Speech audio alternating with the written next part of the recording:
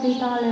Păzește-mă, Doamne, noapte rușina, să se rușineze toți cei ce fac fără de lege deșert, căile tale, Doamne, arată-mi și cărările tale mă învață, îndreptează-mă spre adevărul tău și mă învață, că tu ești de păcatul meu, mă curățește, că fără de legea mea cunosc păcatul meu înaintea mea începurea, eu nu am greșit și rău înaintea ta, să cu toate tine, plată Dumnezeu și plată stăpirea privirii la cele înalte, pentru aceasta cuvântul adevărului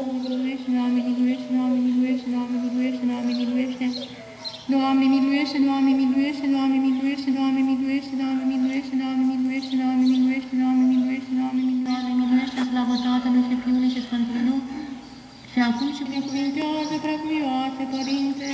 Dumnezeule, milostivește-te spre noi și ne binecuvintează, luminează fața ta spre noi și ne miluiește. Amin. Stăpâne Dumnezeule, Părinte Atotputernice, Doamne, Fiule unule născut Iisuse Hristoase și Duhule Sfinte, o Dumnezeire, o putere, miluiește-mă pe mine păcătosul, cu judecățile care știi, mântuiește-mă pe mine de vrenic romul tău, ca binecuvântat Nimicește, Doamne, și împarte limbile lor că am văzut fără de lege și dezbinare în cetate. Ziua și noaptea o va înconjura pe ea pe zidurile ei fără de lege. Și o că străinii s-au ridicat împotriva mea și cei tari au căutat dreptul meu. Și nu au pus pe Dumnezeu înaintea lor, că iată Dumnezeu ajută mie și Domnul este sprijinitorul sufletului meu. Va zice Domnului, sprijinitorul meu și scăparea mea, Dumnezeul meu, că îngerii săi va porunci pentru tine ca să te privești în toate căile tale. Pe mâini te vor înălța ca nu cumva să îndurările tale, Doamne, că am sărăcit foarte, ajută nouă, Dumnezeule, Mântuitorul nostru, Doamne, curățește păcatele noastre, stăpâne iartă pădările noastre, fiindcă cercetează și vindecă neputințele noastre pentru numele Tău. Doamne, miluiește, Doamne, miluiește dumneavoastră, Hristoase, Dumnezeule, când-a lung trecătorile nu milostive și nu îndurate, doar ai fi cu față cunoască la Ce ai dorit să-ți dăm despre pânile și puterile din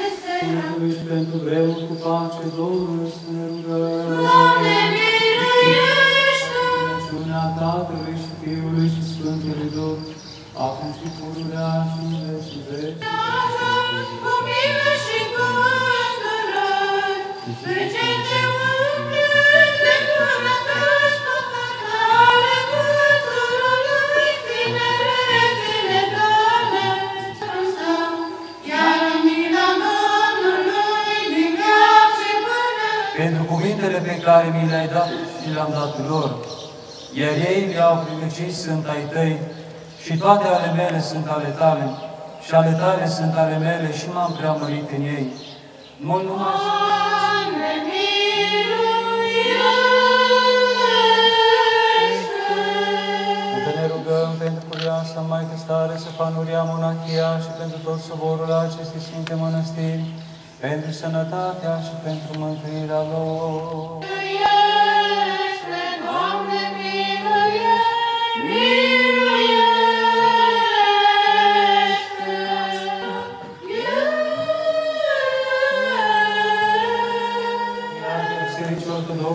Ortodoxe Române, Miro, Nicodim, Justinian, Justin și Teofist, se pomenească Domnul Dumnezeu în împărăția sa.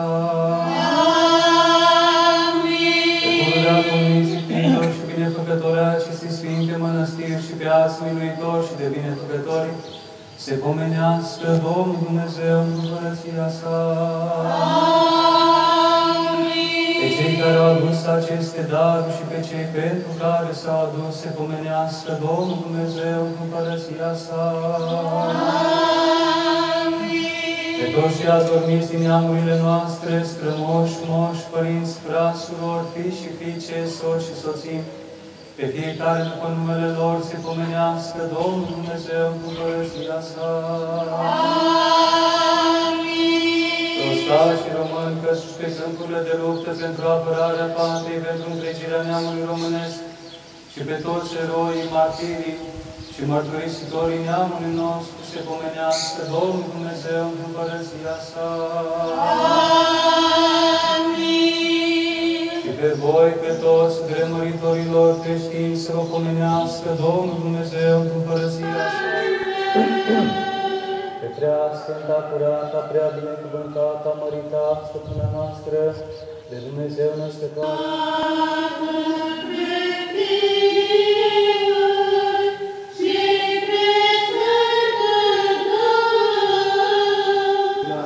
și a pătimit și s-a îngropat și a înviat a treia zi după Scripturi și s-a înălțat la ceruri și șade de-a dreapta Tatălui și iarăși va să vină cu slavă să judece vii și morții, a cărei împărăție nu va avea sfârșit. Și într Duhul Sfânt, Domnul de Sunt tare de biruință, cântând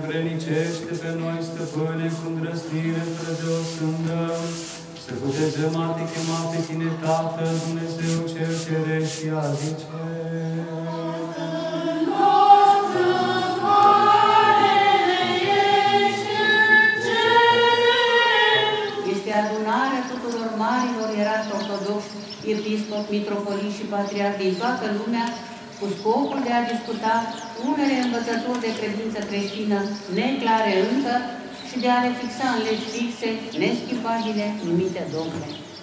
De asemenea, un sinod ecumenic judecă și condamnă toate abaterile de credință străine de învățătura Sfintei Evangheliei și a Sfinților Părinți și exclude din biserică, adică dă anatema pe toți ereticii care sfârșie unitatea de credință a bisericii, simbolizată prin cămașa de ina Domnului, făcută dintr-o singură bucată, cum zice în Sfânta Evanghelie. Cămașa era fără cusătură, de sus țesută în întregime. Prin cuvântul sinod înțelegem adunare, consilii. Prin cuvântul erezie înțelegem părerea sau învățătura particulară a cuiva despre Dumnezeu împotriva învățăturii adevărate a Bisericii lui Hristos. De ce a avut loc Sinodul Întâi Ecumenic, care a fost pricina care i-a silit pe Sfinții Părinți să se adune la un loc și să apere dreapta credință? Pricina a fost apariția unui mare eretic anume Arie, care învăța pe creștini o credință nouă, zicând că Fiul lui Dumnezeu nu ar fi de o ființă cu Tatăl și că avea un timp când Fiul nu era. El numea pe Iisus Hristos creatură superioară, cea din tâi dintre creaturi. Acest eretic era un preot din Alexandria Egiptului, foarte mândru și neascultător, însă bun predicator, care a trăit în secolele 3-4. Erezia lui s-a răspândit în câțiva ani atât de mult încât rupsese biserica în două și amenința să se răspândească în tot Imperiul Roman de răsărit și de apus. Sfinții părinți, nemai putând răbda culele lui Arie împotriva Mântuitorului și a Preasfintei Treimi, au cerut ajutorul drept credinciosului împărat Constantin cel Mare, ca să contribuie cu puterea sa imperială la liniștirea Bisericii lui Hristos și condamnarea învățăturii punitoare a lui Arie și a discipolilor săi. Inspirat de Duhul Sfânt, Marele Împărat Creștin a hotărât să organizeze primul sinod ecumenic la Niceea în anul 325, pe cheltuiala Imperiului, fiind invitați toți mari ierarhi ai bisericii creștine din răsărit și din apus.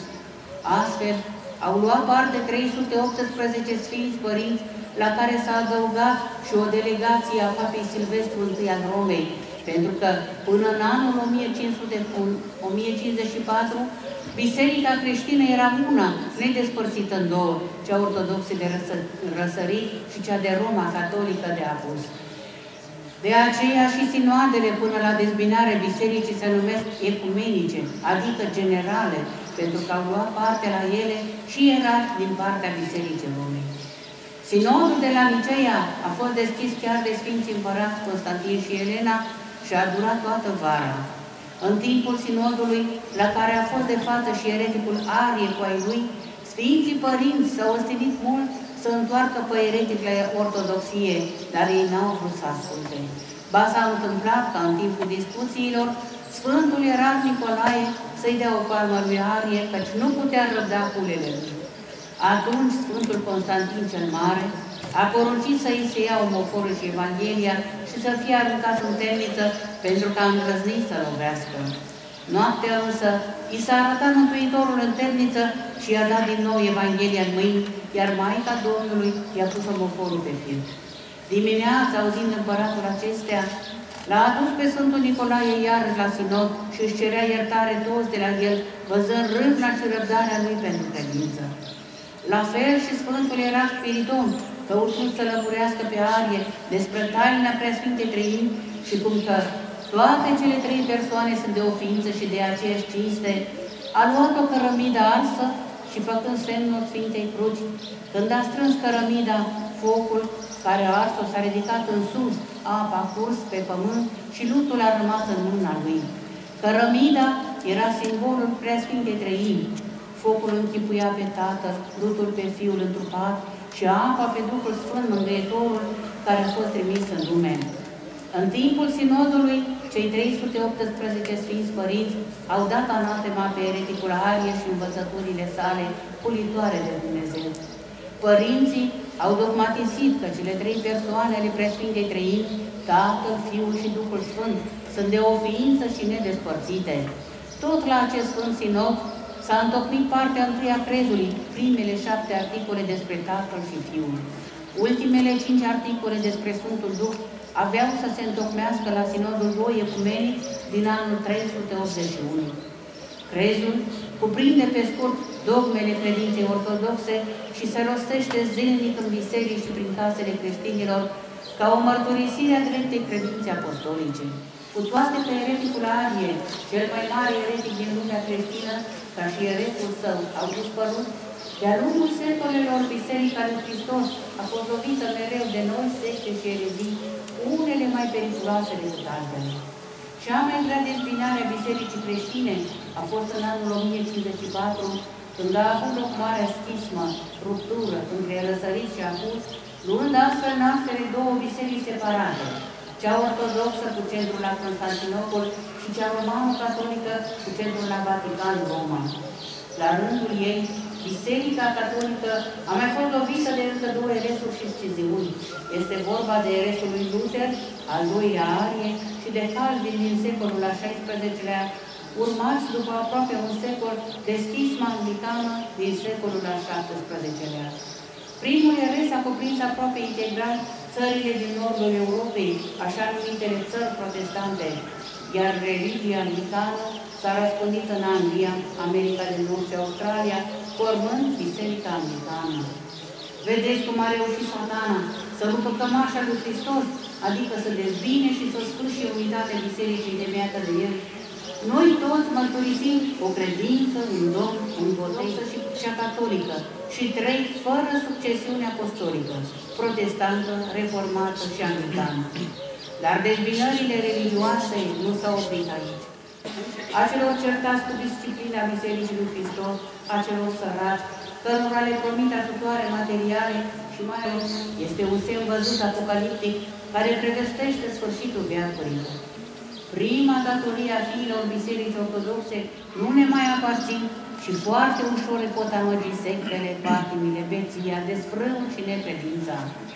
Un tânăr odată căzut greu mai poate greu, mai poate fi salvat, tras de la sectă. Nu primească în casă și nici să discute cu ei, dacă nu vor să cadă în cursele lor. Cine, cine da? despărțită aici,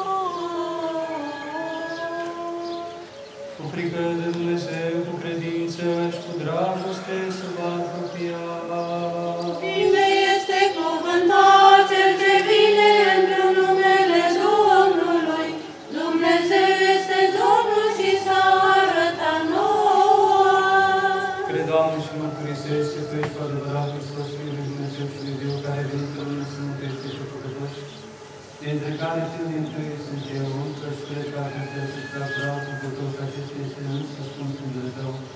Deci mă rog fiu iubește-mă și iată-mi greșelile mele, trei de voie, trei de voie, cuvântul, cuvântul, cu tine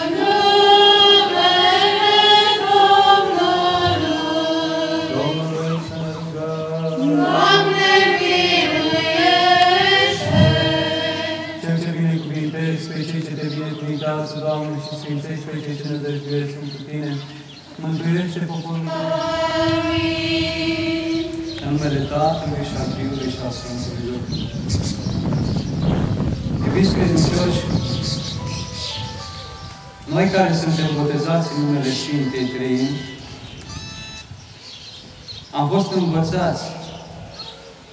Cum să credem în Dumnezeu atunci când am ajuns să ne maturizăm, atunci când mintea noastră a început să învețe legea vieții, atunci când noi am avut capacitatea să înțelegem care este sensul vieții acestei fiecare dintre dumneavoastră, în mod deosebit dumneavoastră care sunteți aici, dar ceilalți care nu sunt aici împreună cu noi, cei care acum sunt în alte locuri și în alte dispoziții și în alte distracții, fiecare am auzit de Dumnezeu. Am auzit de Domnul nostru Iisus Hristos, știm ce a făcut El, știm că a fost pironit și și-a vărsat sângele pentru iertarea și mântuirea sufletelor noastre. Dar noi, cum putem să trăim legătura noastră cu Dumnezeu? Știm că Dumnezeu este nevăzut, negrăit, neajuns, nepătruns. Pe Dumnezeu nu-L putem vedea, fiindcă mintea noastră nu are capacitatea și puterea de a-L vedea pe Dumnezeu. Atunci când uh, Dumnezeu s-a arătat lui Moise și lui Ilie, dar în deoseb lui Moise și și lui Ilie, când uh, ei au cerut să vadă fața lui, Dumnezeu a spus, nu va putea omul, trăind pe pământ, aici, în viața asta, să vadă fața lui Dumnezeu.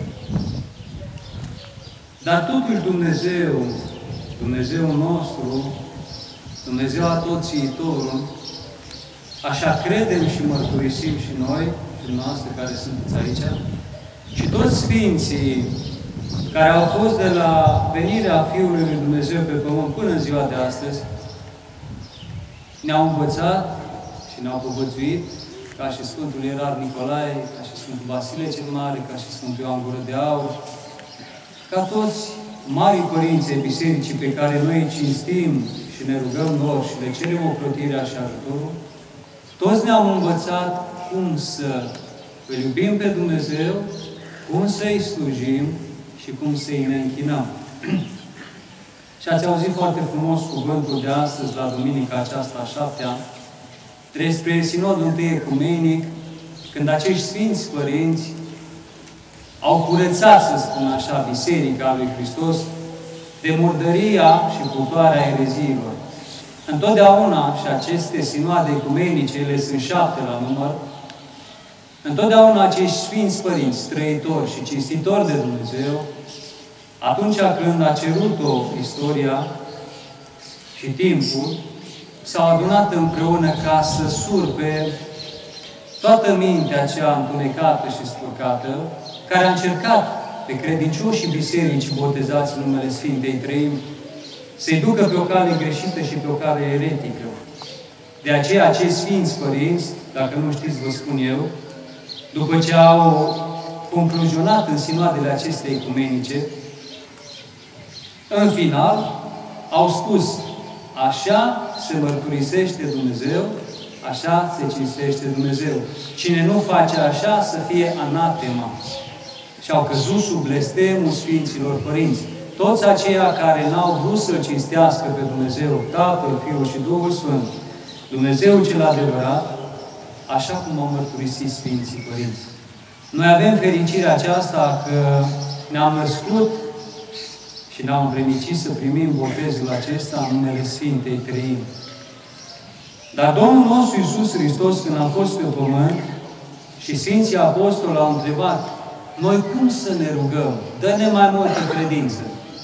Atunci Domnul nostru Iisus Hristos le-a spus, voi să nu spuneți multe ca fățarnici, ca fariseii care erau atunci în vremea aceea la templu, învățații aceia, să voi să nu spuneți vorbe multe, că înaintea lui Dumnezeu și Dumnezeu nu are nevoie de vorbă multă, ci le-a spus, voi când vă rugați, să ziceți așa, Tatăl nostru care ești în ceruri, sfințească-se numele Tău, vie împărăția Ta, facă-se voia Ta, precum în cer, așa și pe pământ.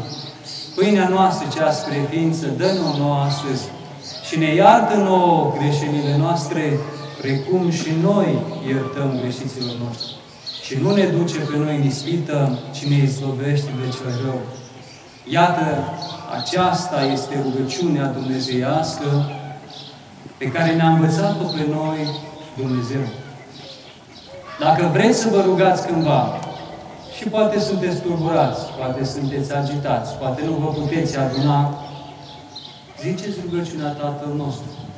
Este rugăciunea cea adevărată învățată de Dumnezeu pentru fiecare dintre noi. Domnul nostru Iisus Hristos ne-a învățat cum să ne rugăm. Ne-a învățat cum să ne închinăm și am învățat aceasta și de la El, am învățat de la El smerenia, am, am, am învățat de la El cuvintele acelea, cine vrea să fie mai mare între voi, să fie sluga tuturor, și altele și altele, dar am învățat de la Sfinții Săi ucenici și apostoli, am învățat de la Sfinții Părinți, de la Sfântul Ierar Nicolae și de la toți Sfinții Mari Părinți, cum să-L cinstim pe Dumnezeu. Evanghelia de astăzi este o Evanghelie foarte frumoasă și vreau să vă citesc din nou, fiindcă dacă stați să mă ascultați și să încercați să înțelegeți cuvintele ei, veți vedea cât de frumoasă este și cât de expresivă și cum ne învață ea să iubim pe Fiul lui Dumnezeu. Și spunem, Domnul nostru Iisus Hristos, Părinte, a venit ceasul, preamărește pe Fiul Tău, ca și Fiul Tău să te preamărească pe Tine, precum i-ai dat stăpânire peste toată făptura, ca să dea viață veșnică tuturor acelora pe care Tu i-ai dat Lui. Și ia uitați ce înseamnă viața veșnică. Iar viața veșnică este aceea ca să te cunoască pe tine singurul adevăratul Dumnezeu și pe Iisus Hristos pe care L-ai trimis. Aceasta înseamnă viața veșnică. Să ajungem să-L cunoaștem pe Dumnezeu cel adevărat și să trăim în Dumnezeu cel adevărat. Eu te-am preamărit pe pământ și am săvârșit lucrul pe care mi l-ai dat să-l fac. Și acum mă preamărește Tu, Părinte, la Tine însuți, cu slava pe care am avut-o la Tine, fiți atenți, mai înainte de a fi lumea, Domnul nostru, Iisus Hristos, aici spune că El este mai înainte de când a fost lumea aceasta. Iată, pentru cei care nu știu și nu vor să creadă că Iisus Hristos este Fiul lui Dumnezeu, o spune însuși El. Am făcut cunoscut numele Tău oamenilor pe care mi-ai dat mie din lume. Ai, tău, ai Tăi erau și mi-ai dat mie și cuvântul Tău l-au păzit. Acum au cunoscut că toate câte mi-ai dat sunt de la Tine, pentru cuvintele pe care mi le-ai dat și le-am dat lor. Iar ei le-au primit și au cunoscut cu adevărat că de la Tine am ieșit și au crezut acum că Tu m-ai trimis. Eu pentru aceștia mă rog, nu mă rog pentru lume. Iată, Domnul nostru Iisus Hristos nu se roagă pentru toată lumea. Deci nu că nu, nu cinstește creația sa, fiindcă toți suntem lucrul mâinilor Lui, dar cei care nu vor să-L recunoască ca Fiul al Lui Dumnezeu, aceia ei înșiși nu sunt ai Lui. Și se leapă de, de El prin necredința lor. Și spune, nu mă rog pentru lume, ci pentru aceștia pe care mi-ai dat, că ei cei sunt ai tăi și toate ale mele sunt ale tale și ale tale sunt ale mele și m-am preamărit în ei. Iată cum Dumnezeu se preamărește în credincioșii săi. Deci un om care este credincios lui Dumnezeu, un om care încearcă să împlinească cuvântul Domnului nostru Iisus Hristos, un om care încearcă să se roage, un om care încearcă să postească, un om care încearcă să fie milostiv, un om care încearcă să ierte din toată inima, un om care încearcă în ziua învierii, fiind botezat în numele Sfintei Trăimi, să vină lângă Domnul Său, Iisus Hristos, la Sfânta Liturghie, la Cel care a zis, unde sunt doi sau trei adunați în numele meu, acolo sunt și eu împreună cu ei. Aceștia sunt cei ai lui Dumnezeu. Și spune în continuare, Părinte Sfinte, păzește în numele Tău pe cei care mi-ai dat, ca să fie una precum suntem și noi Iată, aici se mărturisește de Domnul nostru Iisus Hristos, întreita persoana lui Dumnezeu. Când eram cu ei în lume, eu îi păzeam în numele Tău, pe cei care mi-ai dat, i-am păzit, și niciunul dintre ei n-a pierit decât numai Fiul pierzării pentru ca să se împlinească Scriptura. Vedeți dumneavoastră, a fi a lui Dumnezeu sau a nu fi, Este alegerea noastră, nu este alegerea lui Dumnezeu. Dacă noi nu vrem să fim al lui Dumnezeu, Dumnezeu nu ne obligă să fim. Dacă nouă nu ne place să ne închinăm lui Dumnezeu, Dumnezeu nu ne obligă să ne închinăm lui. Ne închinăm patimilor, ne închinăm satanii, ați auzit acolo, există templu satanic, acolo unde oamenii cu mintea întunecată, în loc să-L cinstească pe Cel care a făcut cerul și pământul, se închină diavolului, se închină creaturii lui Dumnezeu, fiindcă îngerii, știți bine, sunt creația lui Dumnezeu. Acum însă eu vin la tine și acestea le gresc cât sunt în lume, pentru ca bucuria mea să o aibă de plin în ei. Iată că oamenii credincioși, care au trăit și care trăiesc și acum pe pământ, au bucurie de la Dumnezeu.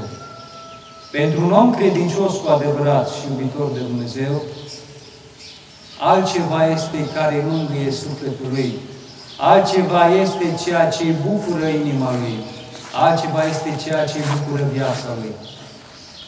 Dacă vă uitați la Sfinții noștri români, și luăm așa, Sfânta Cuvioasă Parascheva, Sfânta Teodora de la Sicla, sau luăm, de exemplu, pe Sfânta Muceniță Filotea, sau pe Cuviosul Dimitrie Basarabov, aceștia au fost oameni foarte săraci materialicește. Nu aveau confortul nostru. Deci nu aveau confortul dumneavoastră de acasă. Nu avea saltea pe pat, nu avea mâncare, băutură, prăjitură atunci când vor. Aceasta că nu, pute, nu că nu puteau să o aibă, puteau să o aibă, dar pentru ei era ceva mai de preț. N-au avut confortul și comoditatea pe care le avem noi. Noi dormim pe pat cu saltea, cu pătură, cu plapumă, cu cearceafă, cu pijamale și așa mai departe. Ei au avut o îmbrăcăminte sărăcăcioasă, o îmbrăcăminte sfinte, n-aveau garderobe, dar ei erau bucuroși și trăiau pe Duhul Sfânt în inima lor. Și vreau să vă citesc aici Evanghelia care s-a citit pe ziua de sâmbătă, ca să mă înțelegeți mai bine. Și spune Domnul nostru Iisus Hristos, cuvintele pe care mi le, cuvintele pe care vi le grăiesc eu, nu le spun de la mine, ci Tatăl care se lășluiește în mine, El însuși face aceste lucruri. Credeți mie pentru că eu sunt în Tatăl și Tatăl este în mine. Spuneam în duminica trecută, pentru cei care au fost la Sfânta Liturghie, că pentru omul credincios trebuie să se vadă în el Dumnezeu. În omul credincios trebuie să se vadă cum Dumnezeu se exprimă prin el. Fiindcă, vedeți, spune Domnul nostru Iisus Hristos, credeți mie pentru că eu sunt în Tatăl și Tatăl este în mine. Un om credincios îl are pe Dumnezeu în el. Așa cum Domnul nostru Iisus Hristos era unit cu Tatăl, așa și noi, ca oameni credincioși, suntem uniți cu Dumnezeu. Și spune, dar de nu credeți mie pentru lucrurile acestea pe care le fac. Adevărat, adevărat vă spun vouă, că cel care crede în mine va face și el lucrurile pe care le fac eu. Și aceasta s-a întâmplat cu Sfinții Săi, ucenici și apostoli și cu toți mari Sfinții ai noștri, care l-au iubit pe Dumnezeu cu adevărat.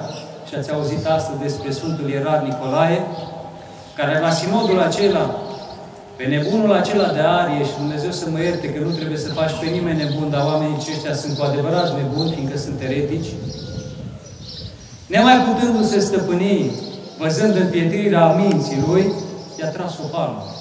Sfântul era Spiridon ca să-l convingă pe acest eretic, după cum poate știți, a luat o cărămidă în mână și a explicat așa, Păi omule, vă spun cu cuvintele mele, înțelegi tu cum este Sfânta Trime?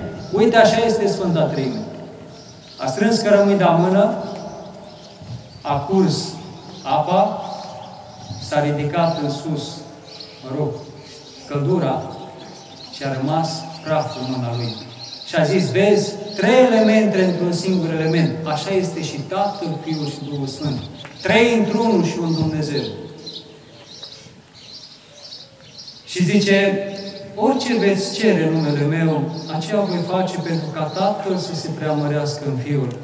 Iată că dacă noi am trăit dragostea lui Dumnezeu, dacă noi am fi credincioși lui Dumnezeu, cum au fost Sfinții pe care noi cinstim, dacă noi am cere ceva lui Dumnezeu, uite că Domnul nostru Iisus Hristos spune orice veți cere numele meu, aceea voi face pentru ca Tatăl să se preamărească în Fiul. Deci Dumnezeu împlinește cererile noastre, dar nu cererile acestea. Dăm, Doamne, servici bun, dăm, Doamne, bani, dăm, Doamne, fericire, dăm, Doamne, sănătate și așa mai departe. Dumnezeu nu se preamărește în acestea. Dacă i-am cere lui Dumnezeu, Doamne, dăm pocăință, lacrimi și smerenie. Doamne, dăm puterea să iert. Doamne, dăm puterea să mă lepă de slăbiciunile și de patimile mele care mă despart de Tine. Doamne, dăm puterea să fac tot ce îmi stă în putere ca să mă pot împărtăși cu Tine. Iată, așa se premărește Dumnezeu în cererile noastre. Dar altceva vreau să vă spun eu. Orice veți cere în numele meu, eu voi face. Ascultați. Dacă mă iubiți pe mine, păziți poruncile mele. Iar eu voi ruga pe Tatăl și al Mângâietor vă va da vouă ca să fie pururea cu voi. Duhul adevărului, pe care lumea nu-l poate primi pentru că nu-l vede, nici nu-l cunoaște. Iată că Domnul nostru Iisus Hristos, înainte de plecarea Lui, i-a învățat pe Sfinții Săi Apostoli că nu trebuie să se întristeze că se desparte de ei, ci că El, alt mângâietor, le va trimite lor, pe care lumea nu-L cunoaște și nici nu-L vede. Iată așa sunt cei care sunt în afara bisericii. Iată așa sunt ereticii, iată așa sunt necinstitorii de Dumnezeu, iată așa sunt toate mințile îndunecate, care în loc să-L cinstească pe Dumnezeu cel adevărat, fac yoga, yoga, budism, mantra, tot felul de prostii, tot felul de filozofii, tot felul de... până să ajungă să se închină și diavolului. Asta este ultima pe care o mai poți face, că în rest, mai, ca să spun așa, mai nebunească, că asta nu mai există asta. Mai mult decât să te închini diavolului, nu mai e la ce să te închini. Știți? El e cel mai decăzut, ca să spun așa. Și spune, nu vă voi lăsa singur pe lume, ci voi veni la voi încă puțin timp și lumea nu mă va mai vedea. Voi însă mă veți vedea pentru că eu sunt viu și voi veți fi vii. Iată ce frumos spune Domnul nostru Isus Hristos. Voi însă mă veți vedea pentru că eu sunt viu și voi veți fi vii. Oare Sfinții Apostoli erau morți atunci când Domnul nostru Iisus Hristos vorbea pe ei? De le spunea că voi veți fi vii? Trăiau, dar nu erau încă vii. Așa sunt toți oamenii care, deși trăiesc pe pământ, pot să fie morți și nu vii. Fiindcă dacă nu-L vedem pe Dumnezeu, cum, vă, cum spuneam și în duminica trecută, înseamnă că suntem morți. Fiindcă Domnul nostru Iisus Hristos aici spune adevărul, voi însă mă veți vedea pentru că eu sunt viu și voi veți fi vii. Și în ziua aceea veți înțelege că eu sunt în Tatăl meu și voi în mine și eu în voi. Iată adevăratul om credincios. Iată adevărata credință într-un om credincios. Nu înseamnă om credincios să te duci la biserică, să apringi o lumânare, să stai la Sfânta Liturghie, să dai un pomelic, sau chiar poate să-ți închini viața lui Hristos trăind în mănăstire. Asta nu înseamnă că ești un om credincios. Dacă nu-L simțim pe Dumnezeu noi, cum spune El, că eu sunt în Tatăl meu și voi în mine și eu în voi, înseamnă că noi nu-L simțim pe Dumnezeu. Înseamnă că noi nu avem o legătură cu Dumnezeu. Înseamnă că sufletul nostru nu este al lui Dumnezeu. Și să ne ferească Bunul Dumnezeu pe fiecare dintre noi, să nu fim în situația aceasta și să nu trebuiască să plecăm așa de pe pământ. Cel care are poruncile mele și le păzește, ascultați ce frumos spune, acela este care mă iubește. Iată, dacă noi ne considerăm că iubim pe Dumnezeu, dar nu împlinim poruncile Lui, înseamnă că ne mințim pe noi înșine. Înseamnă că nu-L iubim cu adevărat pe Dumnezeu.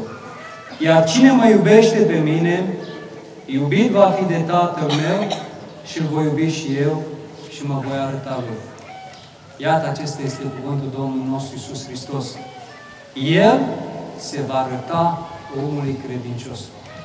De aceea un om când va ajunge în viața lui să-L vadă pe Dumnezeu, așa cum spune Domnul nostru Iisus Hristos, acel suflet, acel om nu se mai poate despărți de Dumnezeu. Nu se mai poate despărți de cei frumos, de cei curat, de cei sensibili, de ceea ce sfințește sufletul și viața lui. Nu se poate despărți de cuvintele curate pe care le spune Trăirea Dumnezeu. Într-un om credincios nu mai există, ca să spun așa, dezbinare, nu mai există murdărie, nu mai există dezordine interioară și verbală. Într-un om credincios, Dumnezeu le adună pe toate și îl purifică cu harul său. De aceea, un om care îl află cu adevărat pe Dumnezeu, nu se mai poate despărți de el. Și astfel de oameni, ca și dumneavoastră, nu mai lipsesc de la Sfânta Liturghie. Nu mai lipsesc de la Cel care vine și își dă trupul și sângele pentru ca să ne unim noi cu El. Aceasta înseamnă credința ortodoxă. Aceasta înseamnă trăirea noastră în Dumnezeu. Vedeți în jurul dumneavoastră, și la televizor, și în mințile oamenilor, vedeți tot felul de filozofii, tot felul de erezii, tot felul de pasiuni, tot felul de dizvertismente la televizor, tot felul, stați să-mi aduc aminte, că dacă nu mă uit nici nu știu cum se numește, telenovele. Tot felul de prostii care îți țin mintea, numai înaintea lui Dumnezeu Te fac să te desparți de Dumnezeu și asta este lucrarea diavolului. Să despartă mintea și inima noastră de Dumnezeu. De Dumnezeu care a zis, voi veni și mă voi arăta vouă.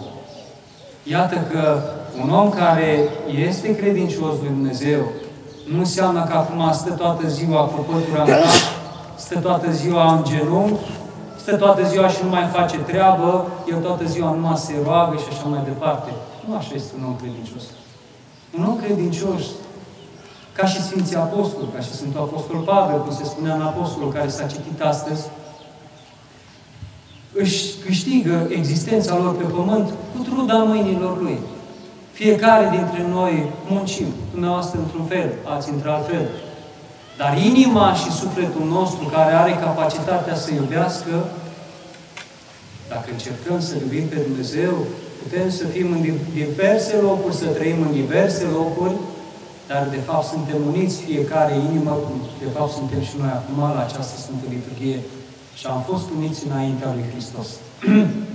Iată că dacă ne străduim și în ziua de astăzi și încercăm să-L căutăm pe Dumnezeu cu adevărat, încercăm să nu ne mai mințim pe noi înșine că suntem cu adevărat credincioși, deși nu se prea vede în cuvintele noastre, deși nu se prea vede în faptele noastre, deși nu se prea vede poate în atitudinile noastre, dacă nu încercăm să ne schimbăm, dacă nu încercăm noi înșine pe noi înșine să ne schimbăm, noi înșine pe noi înșine să ne modificăm, nu pentru că vorbește un preot, nu pentru că vorbește un patriarh, nu pentru că vorbește Sfinții Părinți, nu pentru că vorbesc Sfinții Apostoli și Domnul nostru în Sfânta Evanghelie, ci pentru că noi vrem să se împlinească cu noi cuvântul citit astăzi.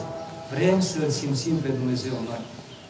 Dacă vom ajunge la măsura aceea să-L vedem pe Dumnezeu de acum, cu siguranță vom putea să-L vedem și dincolo. De aceea viața noastră de oameni pe pământ nu este o, o viață trăită fără niciun scop, fără niciun sens. Mânci când vrei, bei când vrei, te distrezi când vrei, pleci când vrei și așa mai departe. Muncești când vrei, dor când vrei și așa mai departe. Viața noastră trebuie să fie trăită o viață conștientă, o viață, ca să spun așa, în care noi avem un cel când trăim pe pământul acesta. Cine nu are un cel în viața lui, cine nu se luptă pentru un scop să ajungă undeva, acela nu va mai ajunge niciunde. Fiindcă Dumnezeu este Cel care ne cheamă să ne luăm crucea și să urmăm Lui. Ne invită la responsabilitate, ne invită ca să fim atenți noi înșine, cu noi înșine, cu ceea ce spunem și cu ceea ce facem și cu semenii noștri. Spun unii, nu? Unde este Dumnezeu? Nu mă pe Dumnezeu. Nu ne aude pe mine Dumnezeu acum că eu vorbesc așa mai departe. Păi tocmai că în mintea ta, care este creată de Dumnezeu, și ochiul tău care este creat de Dumnezeu, și urechea ta care este creată de Dumnezeu, Dacă n-a ajuns să se întâlnească cu Dumnezeu pentru că nu ești smerit și ești plin de mândrie și de trufie, n-ai cum să înțelegi că chiar, uite, Dumnezeu acum ne vede și ne aude. Acum Dumnezeu este prezent. Dumnezeu este prezent și când noi dormim. Dumnezeu este prezent și acum și este în mijlocul nostru. Și El se manifestă și vine la sufletele acelea care încearcă să se închine cu dragoste Lui, care vin cu evlavie înaintea Lui, care stau la Sfânta Liturghie cu dragoste, cu respect, cu atenție. Nu ca și cum erau unii pe aici, l-am rugat pe prietenul meu, zic, du-te, spune la aia care vorbesc acolo, iertați-mă, n-am spus așa, la cei care vorbesc acolo, dacă nu vor să mă asculte când vorbesc eu, îi rog să iese din mănăstire afară. Fiindcă nici eu când mă duc în casa cuiva, cu cineva, nu-mi permit să-l ignor pe cel la care m-am dus și să stau de vorbă cu cineva așa. Asta înseamnă o nesimțire curată. Păi cum să vină un Dumnezeu? Cum să vină Dumnezeu într-o inimă de om? Într-o minte de asta de om? Care săracul nici nu-și dă seama când trebuie să fie atent și conștient. Vedeți? Dumnezeu ne vrea sensibili, Dumnezeu ne vrea atenți, Dumnezeu vrea ca să facă din noi oameni care avem o atenție la ceea ce face și la ceea ce spunem. Și cine încearcă să trăiască așa pentru dragostea lui Dumnezeu, să știți că ajunge să simtă pe Dumnezeu tot timpul. Și atunci se autocontrolează și Sfinții Părinții au numit această autocontrolare, au numit-o lucrarea prin care se poate ajunge să dialogăm cu Dumnezeu. Această atenție în scapă de numirea cuvântului în cere tare, ca un lapsus, cum se numește acea trezie, așa se numește această lucrare, adică a fi un suflet trezvitor, a fi un suflet atent. Atunci când îl simțim pe Dumnezeu noi, atunci când avem pacea lui Dumnezeu noi, foarte greu ne enervăm, foarte greu ne tulburăm din cauza că Harul lui Dumnezeu mângâie sufletul nostru. Dar atunci când Harul lui Dumnezeu se îndepărtează de la sufletul nostru, devenim irascibili, iertăm greu, rădăm greu, muncim greu, ajutăm greu, ne greu să facem milostenie, ne este greu să ne rugăm, ne este greu. Și aceasta vedem în viața noastră și vedeți în viața noastră. Cât de greu trăim fără pacea lui Dumnezeu. Cât de greu ne bucurăm de viața de zi cu zi. Uite, poate și dumneavoastră la această Sfântă Liturghie. Poate ați văzut că stând aici la Sfânta Liturghie, v-a fugit mintea în tot felul de direcții, tot felul de părți. și în loc să stați cu atenție în rugăciune înaintea lui Dumnezeu, v-ați risipit în toate părțile. Aceasta este o minte și aceasta este mintea care nu este acoperită de Harul lui Dumnezeu. Și mai spun Sfinții Părinți și un lucru, că atunci când venim înaintea lui Dumnezeu, dacă venim așa, într-un mod nu știu cum, Dumnezeu nu dialoghează cu noi. Dacă nu venim cu respect, dacă nu venim cu evlavie, dacă nu venim cu credință, dacă nu venim înaintea lui Dumnezeu, ca înaintea lui Dumnezeu, nu ca înaintea oamenilor. Și aici este afară și este frumos. Dar la fel și Sfânta Biserică. Și o mai spun încă o dată, Ați văzut din acolo, dar dumneavoastră cred că nu vă numărați printre aceia.